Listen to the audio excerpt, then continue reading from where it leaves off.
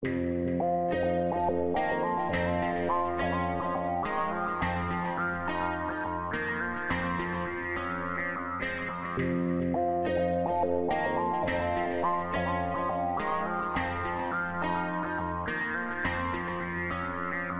πρωί θα ανοίξω την πόρτα και θα βγω στους δρόμους όπως και χθες. Και δεν θα συλλογέμαι παρά ένα κομμάτι